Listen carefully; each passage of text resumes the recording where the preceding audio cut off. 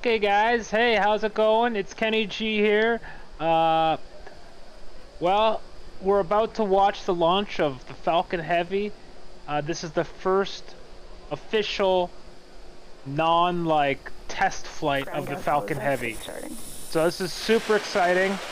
Hopefully everything goes well, cause I really love SpaceX. I think a lot of people love SpaceX. Uh, and Elon Musk and what he's doing uh, for space travel and the potential, like the Falcon Heavy and uh, what's his main ship called? BFR. Uh, he renamed it though, Star Shuttle or something like that. Anyways, it is about to launch so we can save my yammering for another time. I'm super excited. And I figured I might as well record this because this is cool. Super, super cool.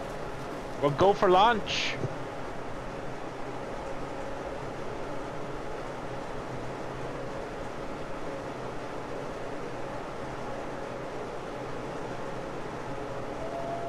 seconds.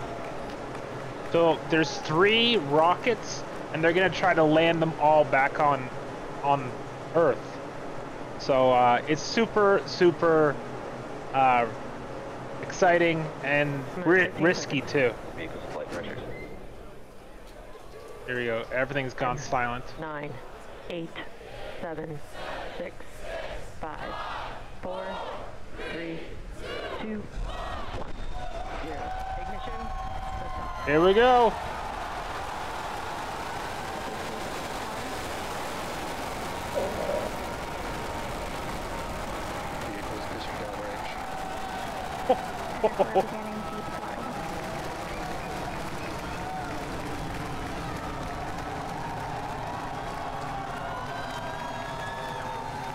Crazy.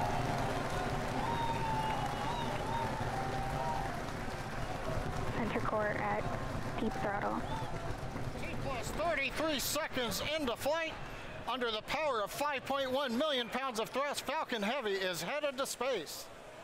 We're throttling down at T plus 40 seconds to Side booster prepare for bucket. maximum dynamic pressure.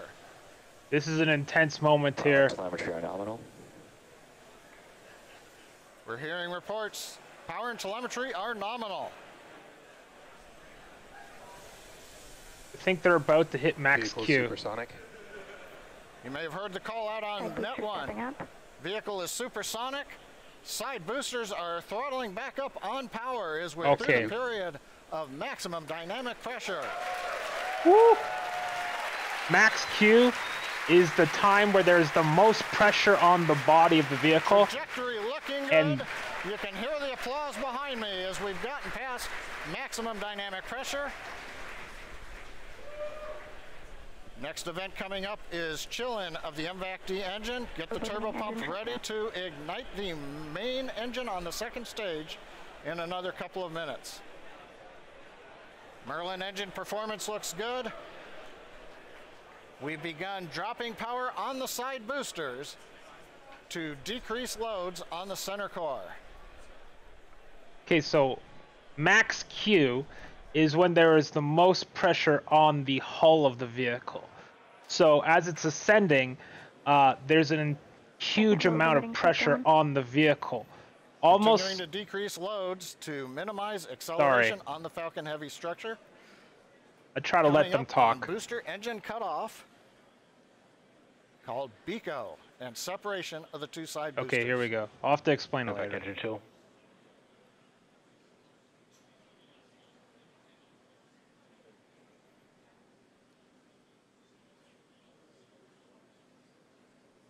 BECO. Oh, there goes both boosters.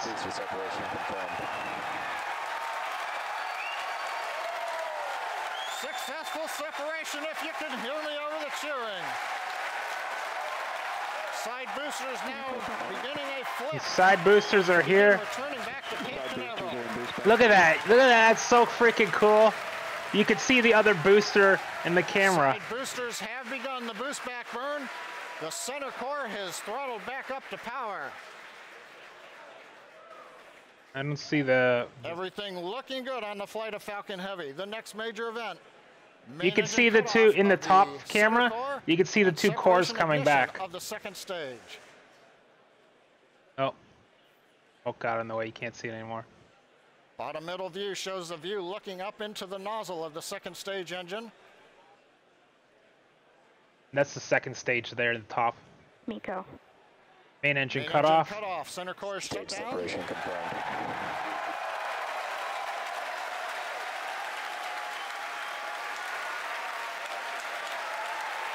Impact ignition. Again, over the cheering. MVAC-D engine up on power. It looks good. Side boosters looking good. Still burning on their way back to Cape Canaveral. Oh, this is intense. Grid fins are out on the center core. Fairing separation confirmed. Here comes the fairing separation, and there it goes. It's a successful launch, but the real interesting also thing. Have successful shutdown of the side booster boost back burn. The, So the real plus interesting minutes, thing will be if they can into land all on their way back three to Cape Canaveral. bo- Center uh, rockets. Stage two trajectory Atlantic. nominal. Stage two looking good with a nominal trajectory. This is intense. And as you guys have noticed, the grid fins have deployed on the side boosters as well as the center core. Those work to help guide the boosters back to a nice targeted soft landing. I don't see it on the one on the left. Could just be the home right camera angle. As a reminder, today we'll be attempting to recover all three of the first stage cores, and all three boosters are currently on their way heading home.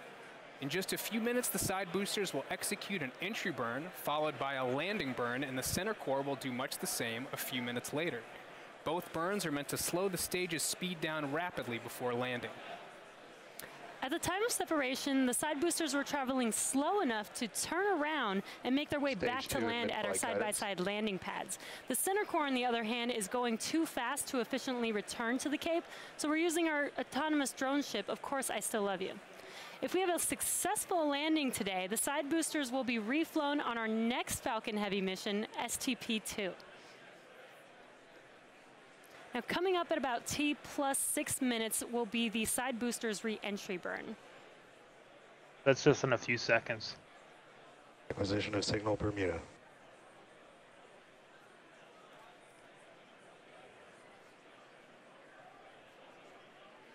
So you'll see the side boosters on your left and right screen. They're adjusting. Side booster entry burn has started. And there's the re-entry burn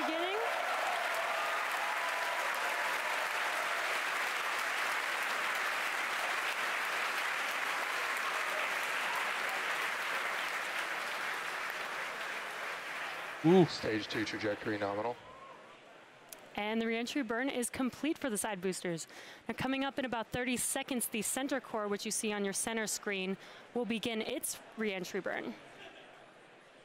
this is where things went a little bad last Falcon Heavy mission. Uh, well, not just yet, but the main one of the engines didn't ignite on the Falcon Heavy. I, if I remember correctly, on the center core. I could be remembering wrong. It was a whole year ago. Uh, look, Stage it's- one entry burn has started. Side boosters are transonic. And there you can see the re-entry burn for center core has begun. The center cores are looking like they're getting awfully close to Earth. Coming up in about five seconds here, the side boosters landing burn will begin as well. Oh boy.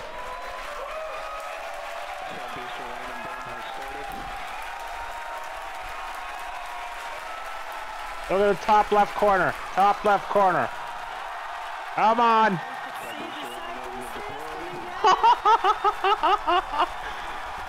Is that not the coolest shit? You can hear our crowd going crazy right now. Both side boosters has landed. That is so freaking cool. Zone one and zone two.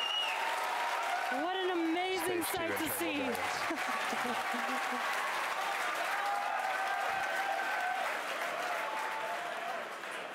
No, they're not showing stage Now one. We're waiting for the engine to shut down on the second stage and for the center core to land.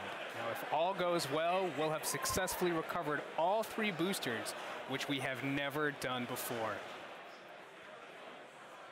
Now, coming up in about 20 seconds, we're going to listen for confirmation of SECO 1 or second engine cutoff 1. Drone AOS. They're not showing the main booster. I hope that doesn't mean anything.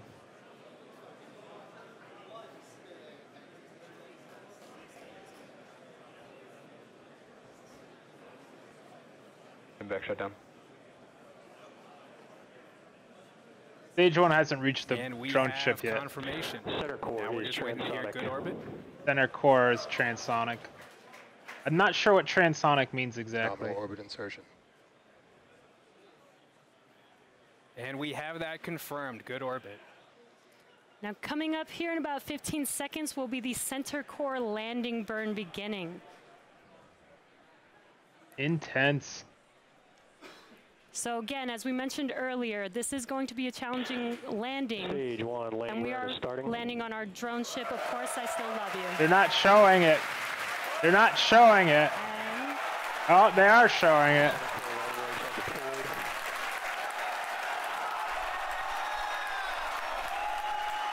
looks like we lost the live view. People are cheering. Waiting for some confirmation, and it sounds like we landed the center core on our drone ship book. We have landed the center core for the first time on our drone That's so ship. Of course, freaking cool. I wanna see For a- The first time we've landed all three boosters wanna see it. Falcon Heavy. What an amazing day. All three boosters so landed. Now we are going to take a There it is. There it is. There it is. That's so freaking cool. You can hear our crowd going wild. Oh my god. Is that not the coolest shit ever? Three for three boosters today on Oh my god. What an amazing accomplishment. That is super cool. So now the primary mission is still going well. We are about to take we are about to enter the coast phase, so we're going to take a quick break. But we'll leave you with an animation that shows you where we are throughout the coast phase. We will be back at about T plus 26 minutes for second stage relight and the deployment of our satellite.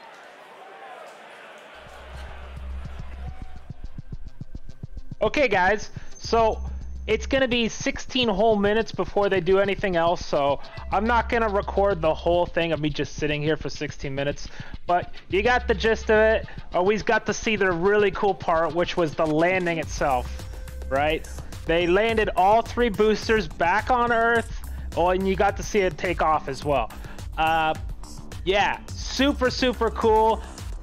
I'm not the most knowledgeable on space stuff, but I have a huge interest in it, and uh, I really hope, like one day, that we can get to Mars, because I know that's Elon's long-term goal. It's not like gonna happen anytime soon, but I really hope we do get there one day. Uh, this is super cool. The fact that they landed all three boosters super cool. And uh, yeah, that's about it for now. So I'm gonna wrap it up. I hope uh, hope you guys all have a good afternoon, evening, or whatever else, wherever you are. Take care. Uh, if you're watching this on our Facebook or on our YouTube, please consider hitting follow. Much appreciated. All right, this is Kenny G.